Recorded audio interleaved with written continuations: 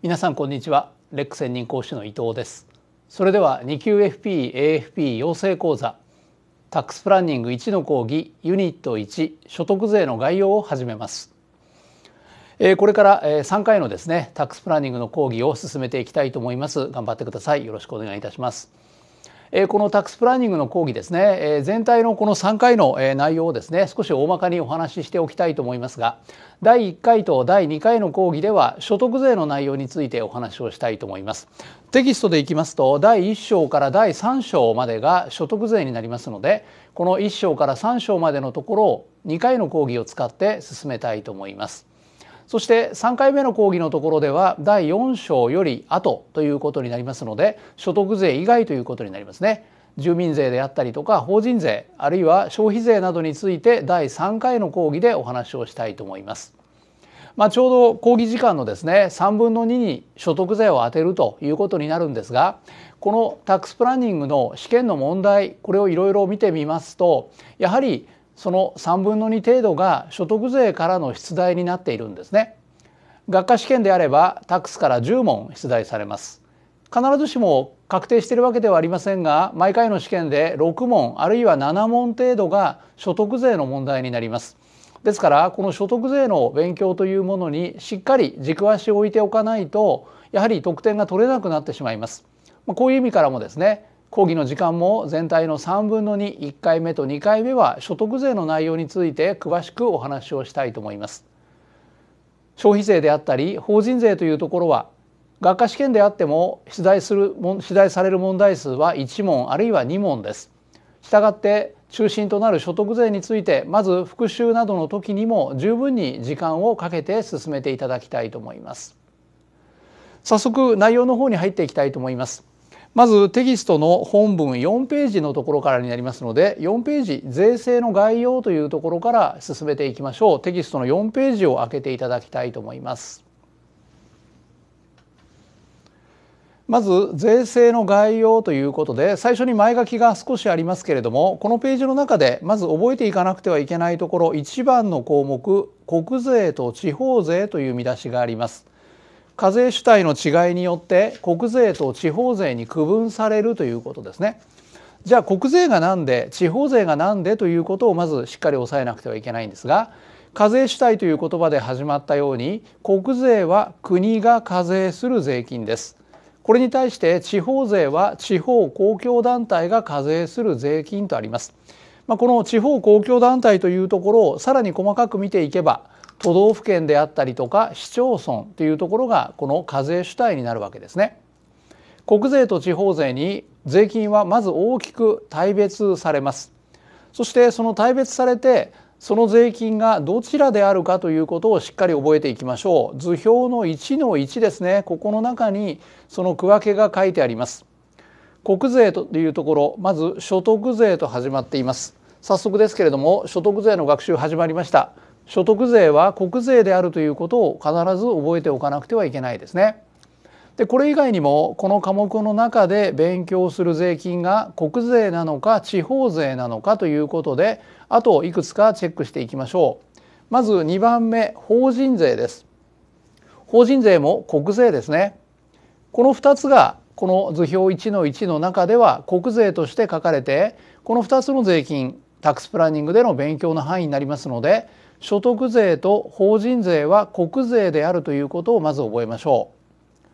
そして今度は地方税です。地方税は住民税が出てきています。そしてもう一つ事業税ですね。この住民税と事業税というものがこの科目の中で第3回の講義でもお話ししていきますので地方税としての代表的なものに住民税と事業税があるということ2つずつそれぞれ必ず覚えたいところです。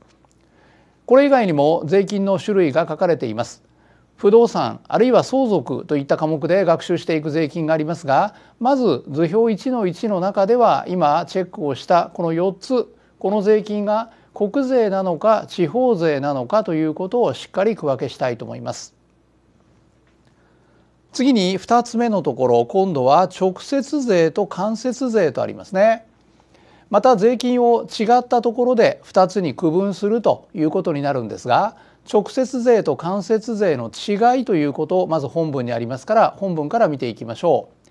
本文の1行目のところに単税者という言葉があります。単税者負担をする人とありますね税金を実際に負担をする人のことを単税者とこう呼んでいますもう一人2行目にありますが納税義務者と出てきています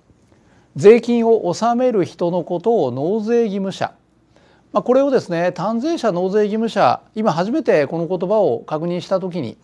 まあ、ほとんど同じようなイメージを持つという方もいると思います。まあ、ほとんど同じというふうに考えていいですね。この単税者と納税義務者、まあ、同じという場合にはそれは直接税になるんです。3行目に書かれているように単税者と納税義務者が同一人である税金を直接税と言います。実際に負担をする人と実際に納める人とこれが同一人であるものを直接税と呼びます。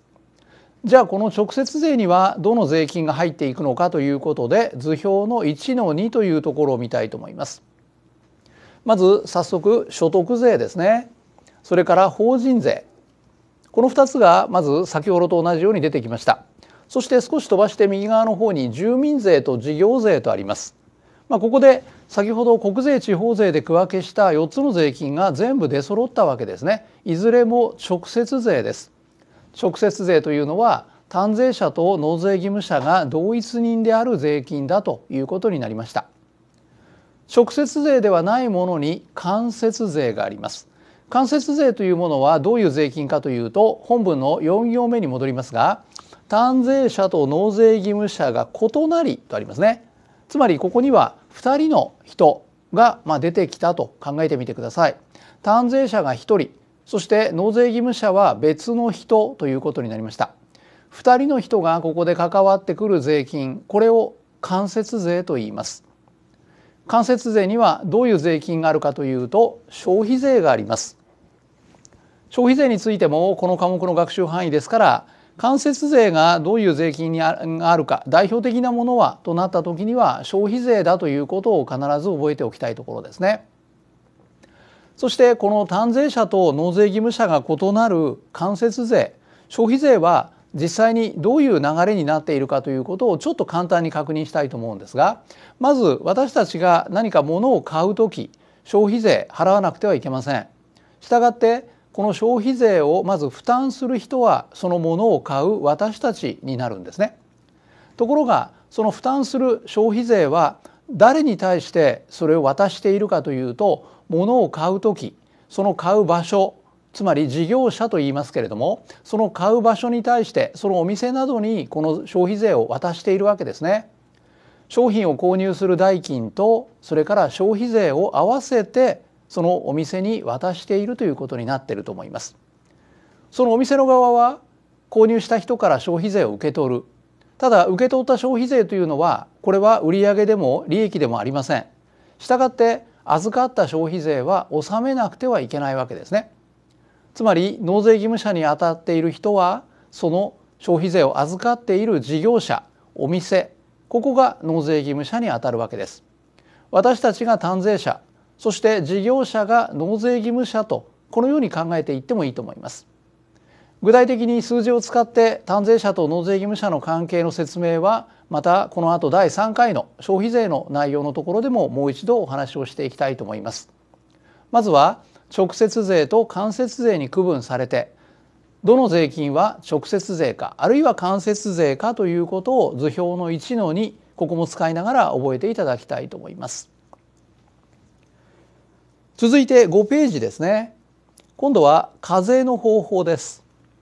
課税の方法でやはり税金の種類を区分するということで申告納税方式と付加課税方式という2つの方式があるんですね。でこの中で、まあ、申告納税方式、まあ、こちらを原則と考えてもいいと思います。つまり税金の納税の方式の原則は申告納税方式と考えてもいいですね。付加課税方式、まあ、どちらかといえば例外に近いと言ってもいいと思います。税金を納める時にはこの2つの方式があるんだということ。その1つ目にある申告納税方式これはどういうものかというとここの文章3行目のところから始まっています納税義務者自身が課税標準と税額を計算して税務署に申告納税するもの。申告納税ですからつまり自己申告をするということですね。自己申告をするためのその内容にあたる税金の額これも納税義務者本人が計算をするということになるもの。これに対して付加課税方式その次のところですけれども今度は税額の決定は誰が行うかというとここにも書かれているように地方公共団体などが税額を決定するとあります。そしてその決定した税額を納税義務者に対して通知をするんですね。通知を受けた納税義務者はその通知に基づいて納税をしなくてはいけません。このように申告納税と付加課税の大きな違いこれは税額の計算を誰が行うかというところにあると考えていいと思います。自分自身が計算をするものが申告納税方式。自分は納税はしますがその税額の計算は徴収する側。例えば地方公共団体などが計算をするケース。これを付加課税方式とこう呼んでいます。ではこの申告納税と付加課税は税金の種類に当てはめるとどのようになっていくかということがその少し下のところ図表1の3という中に2つに分けてあります。まず申告納税方式であるものの代表的なものとして所得税がありますね。そして付加課税方式となるものに住民税があります。まあ、ここはそれぞれ一つずつ税金の名称が出てきましたのでこの一つずつ必ず覚えておきましょう。もちろんこれ以外にも今まで出てきた税金の中で法人税であったりとかあるいは消費税この辺りは申告納税方式になります。そして住民税は付加課税方式だということになるわけですね。この表の中にはもう一つポイントが含まれています。それが5ページの2番の項目にある前年所得課税と現年所得課税というこの言葉の違いですね。まあ、前年であるのか今年であるのか、まあ、今年のことでことをここでは元年と呼んでいますが前の年を元にして計算をするのか今年を元にして計算するのかということでこのような名称がついています。これも同じ図表の1の3というところで覚えておきたいところですが所得税は現年所得課税方式です。今年の所得をそのまま計算してそして納税をするという方式を取るんですね。でこれに対して住民税は前年所得という方式になります。住民税の税額の計算は前の年の所得をもとにして付加課税ですから地方公共団体などが計算をするそして通知を納税義務者に送るという流れその通知を受け取る納税義務者にとっては前の年の所得をもとにして計算した住民税の税額が今年になって通知を受けるとこういう方式になっていくわけです。まあ、住民税については従って1年遅れというふうに考えてもいいですね。この住民税のケースを一つの端的な例で挙げますと例えば新しく社会人になった人がいたとします。新しく社会人になって4月から例えば給与を受け取った。ところが4月5月6月と毎月受け取る給与には住民税の課税がありません。それは初めて社会人になった時はその前年には所得がない、まあ、学生であったというふうに考えられますね。つまり新社会人になった1年目については住民税の課税がないということになるんです。これは前年所得をもとにして課税をするから4月5月6月とその給与にはその1年間住民税が課税されないということです。でこれに対して所得税は減年ですから4月の給与を受け取る時にはもうそこから所得税が差し引かれる5月6月7月と同様に毎月の給与から所得税額が差し引かれていくということになっていきます。まずここまでのところ4ページと5ページのところで税金についての全体像を見てきました。この全体像の中には所得税以外の税金の名称も出てきましたのでまずはどの税金はどちらに区分されるのかということを覚えておくようにしたいと思います。次は6ページ進めていきましょう今度は所得税の基本原則の方に移りたいと思います6ページのところからは所得税の内容に絞って、えー、進めていくことになりますけれどもまず所得税どういう税金かということが最初の3行のところに書かれています。個人の所得に対して課される税金とあります。まあ、この中で個人というのも、まあ、ある意味一つのキーワードなんですね。所得税というのは私たち一人一人個人に対して課される税金です。そして所得に対して課される税金ということになるのでこれを所得税とこう呼んでいるわけですね。ところが日常的に例えば所得という言葉使うケースもありますがもう一つよく使う言葉としては2行目にあるように収入という言葉を使うケースもあると思います。じゃあこの収入という言葉と所得という言葉これの違いをですねここではっきり覚えていただきたいところです。収入金額というのはこれは総収入というような言い方をする場合があります。収入と所得はイコールでは原則的にありません。じゃあどう違うかというと2行目に書かれているように収入金額からその収入を得るためにかかった必要経費を差し引いたものこれが所得だということになるんですね。まあ、これはこの後にもたびたびこの収入と所得ということを計算するということが出てきます。ただその計算の基本になるのは収入と所得は違うということ。じゃあどう違うかというと収入から必要経費を差し引いたものこれが所得だということになるんですね。所得税の場合にはこの所得を計算するということが非常に重要になってきます。所得を計算してからこの税額の計算が始まっていくと言ってもいいと思いますのでまず収入として受け取ったかもしれないけれどもそこから必要経費をするというのが計算手順の第一歩ということになっていきます。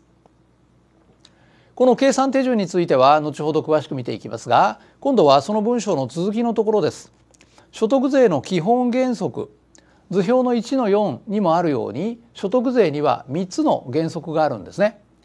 個人単位課税の原則歴年単位課税の原則応納負担の原則この3つの原則が所得税にはあります。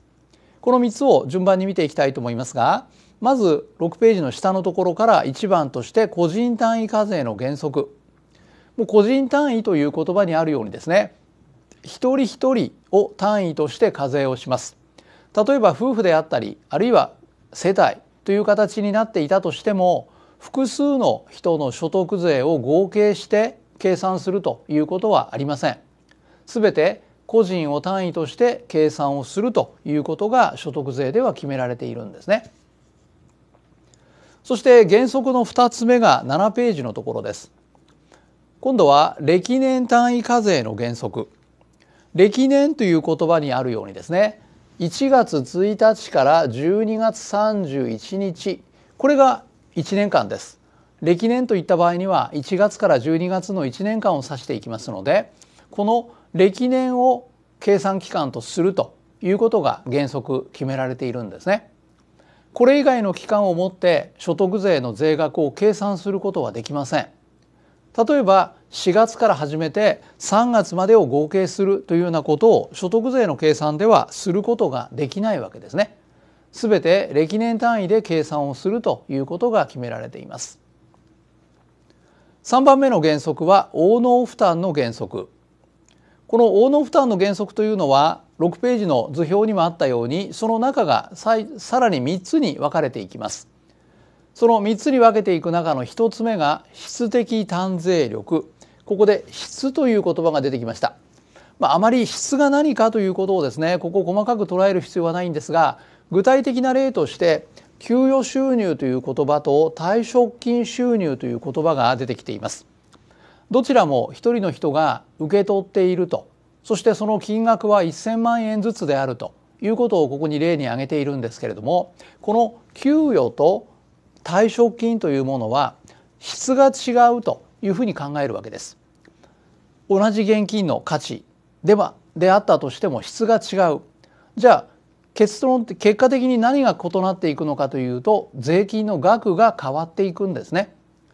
このように受け取った金額が1,000万円として同じであってもそれが給与として受け取った1,000万円であるのかそれとも退職金として受け取った1,000万円であるのかこの違いによって税額が変わっていくということが所得税の計算で決められているんです。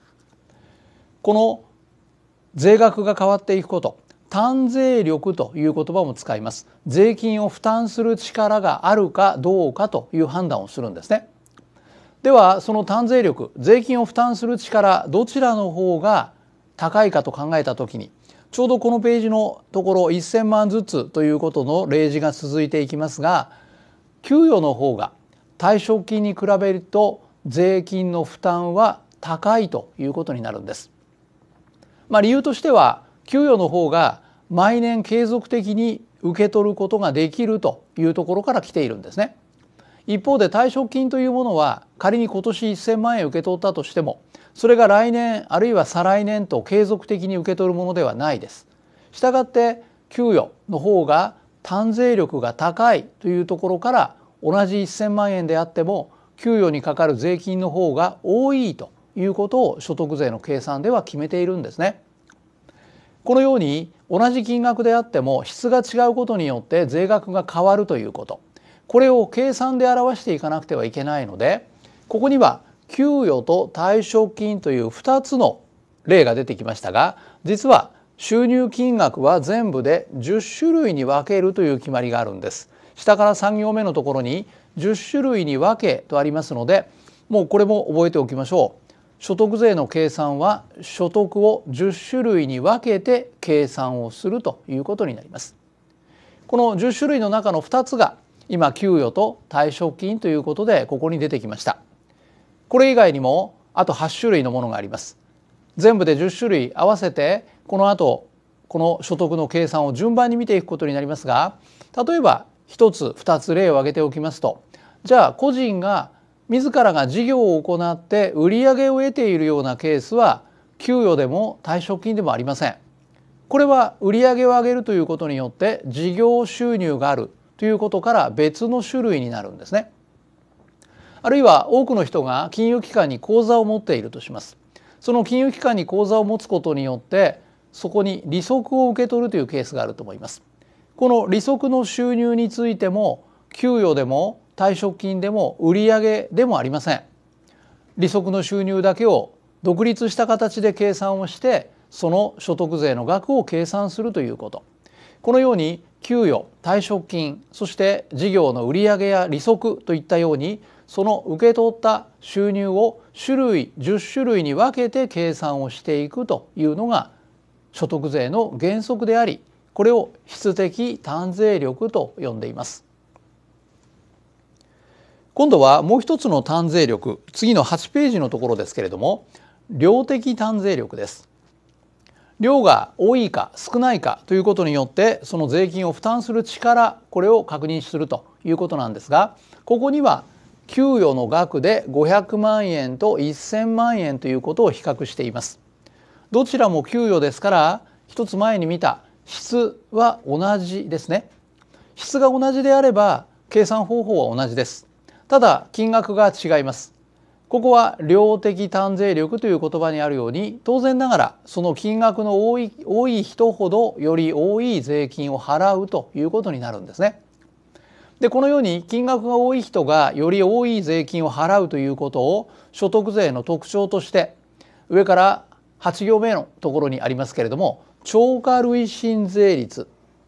これが所得税の特徴となる税率なんですね。7行目のところですね。超過累進税率を使って計算をするということになっていくんです。一定の税率ではないというのが所得税の特徴。この累進税率というものがどのようになっているかということはまた第2回の講義で詳しくお話をしたいと思いますが収入の金額が多くなればなるほどより高い税率を使って計算をするしたがって負担する税金の額が多くなっていくということになるわけです。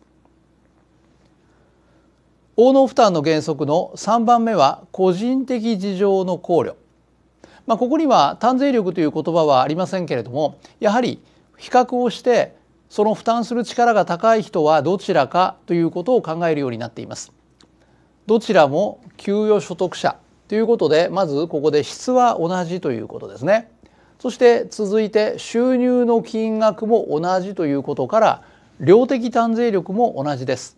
ここまでであればこの所得税の額は同じというふうに考えたくなるところなんですがその続きのところ A さんは独身とあります。に対して B さんは扶養家族がいるとこうあるんですね。こうなった時に A さんと B さんはどちらの方が税額が多いかということを考えた時原則的には独身の A さんの方が税額が多くなります。B さんの場合には仮に同じ金額であったとしても扶養家族がいるということから当然ながらそこで支出に回っていく金額も多いということをあらかじめ想定しているんですね。そしてそのあらかじめ想定されることを税額の計算の中で差をつけていこうと考えているわけです。所得税はこのように扶養家族がいるかどうかあるいはそれ以外にもいろいろな個人的な事情があった時にはそれを税額の計算の中に含めていくという方法をとっているんですね。この扶養家族がいるかどうか個人的な事情は他に何があるかということを考慮するためにはどういう制度があるかというと下から2行目のところに所得控除という言葉があります。この所得控除ということを計算の中に含めることによって税額が変わっていくということなんです。この所得控除についての具体的な内容もやはり第2回の講義の中でお話を進めていきたいと思います。今度は9ページの所得税の納税義務者の方へ続けていきましょう。所得税の納税義務者ということで所得税は直接税ということを先ほどやりましたので単税者であり納税義務者であるということここはすでに覚えていただけたかと思います。この9ページから書かれている内容というのはこの納税義務者の中をさらに細かく区分しているということが書かれているんです。納税義務者が居住者であるのか非居住者であるのかそしてその居住者が永住者であるのか非永住者であるのかまこの辺りを区分して納税義務者の中をさらに分けて考えています。図表の1の5というところに今申し上げた居住者非居住者という大きな区分などがあるんですけれどもこの9ページに書かれた内容というのは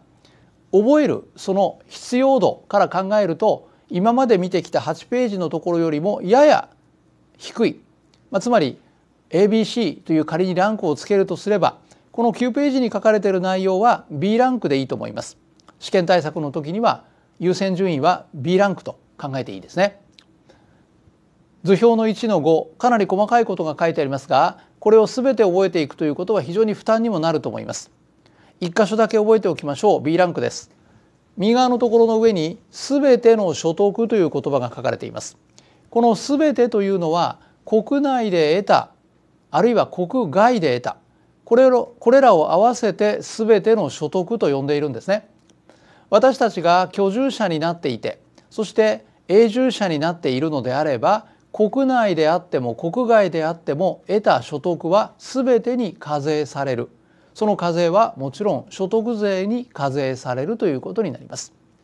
居住者がどういう人なのかそして非永住者以外の居住者がどういう人かというここ定義がありますがそのあたりはあまり細かく捉えておかなくても良いと思います。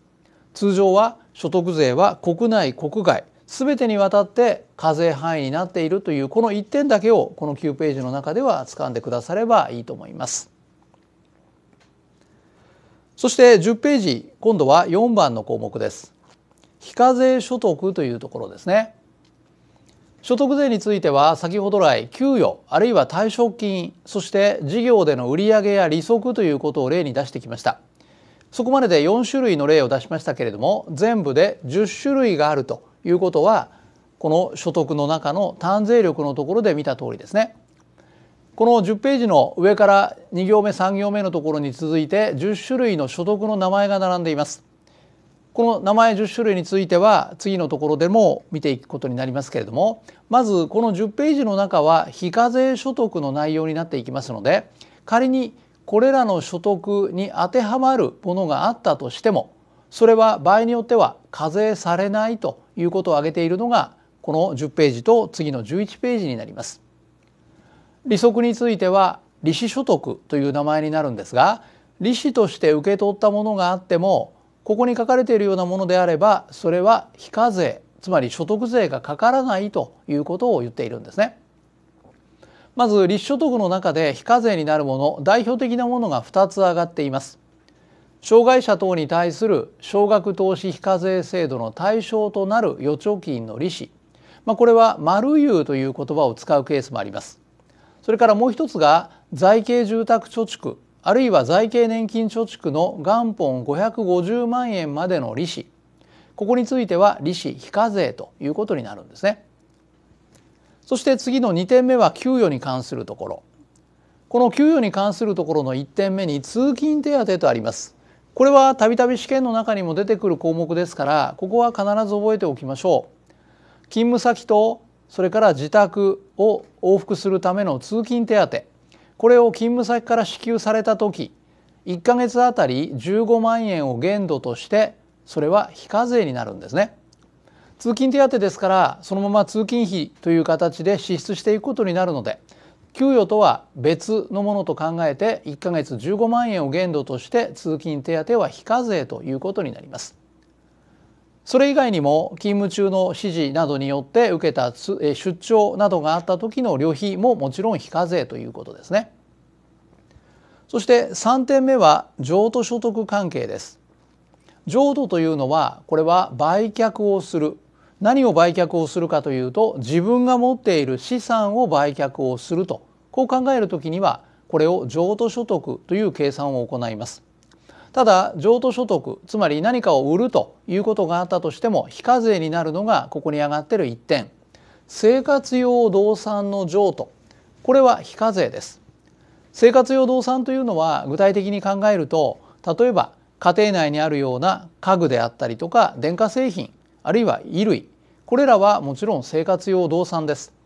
それらを売却をしてもその所得については所得税が課税されないということですね。ただこの中にこの続きにあるように生活用動産とは認めにくいもの例えば1個あたり30万円を超えている貴金属や書画骨董などこれは他にもありますけれども金額で区分するとすれば一つの価格が30万円を超えているようなこれらのものは生活用動産ではないということから売却をした時には所得税が課税されるんですね。つまり生活用動産に関してのみ非課税になるんだということでここでつかみたいと思います。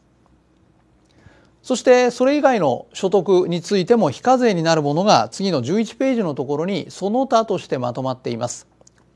箇条書きになっているんですがこの箇条書きの中のですね重要なものを2点ほど挙げてチェックしておいてください。まず下の方になりますが年金に関するところ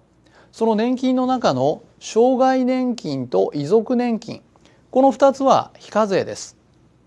年金はこの2つ以外に老齢年金があります。老齢基礎年金や老齢厚生年金というものを自ら本人が受け取る場合には課税されます。ただ障害年金や遺族年金については非課税だということになりますので年金の中でこの2つが出てきた時は非課税ということを必ず覚えておきましょう。そしてもう一つがこのその他の項目の一番上に戻りますが保険金という言葉があります。この保険金というのは場合によっては課税されてしまうケースもあるんですがこの今その他の中に書かれている保険金は例えば身体の障害に起因して支払いを受けるとあるようにですね例えば怪我をしてそしてその怪我をもとにして保険金を受けるようなことになると自分が契約している保険ということから受け取った保険金は課税されないということです。これ以外にも自分が契約している保険で受け取るというものは2点目にある生前給付金これも同様ですね。このように保険契約などによって受け取るその保険金については非課税です。保険ということを一つのキーワードにして覚えてもいいと思います。保険には民間の契約をしている保険とそれから社会保険もあります。健康保険や雇用保険など受け取った時にも同じ保険ということによってやはり所得税は課税されないということになるんですね。この